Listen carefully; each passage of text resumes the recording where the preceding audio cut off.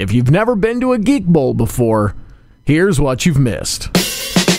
Segways, a haka, fanfare, quizmasters dancing the jiho, actual professional dancers dancing professionally, a prom, tumblers, grown men refusing to wear pants while on stage, reasons to high five, flags, Metallica played on a harp.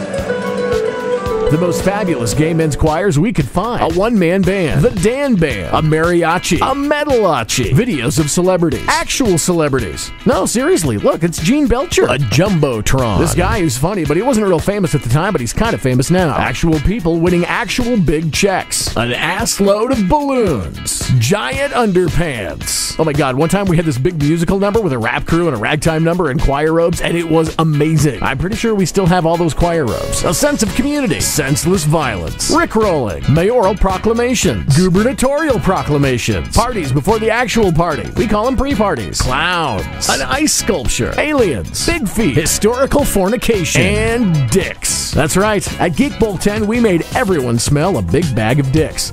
But we're not sorry. You may be thinking, how the hell are we planning to top that?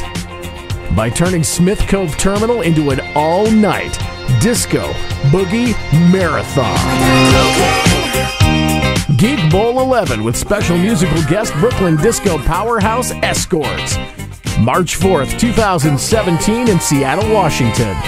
Be part of America's biggest trivia event with nearly $20,000 in prize money on the line.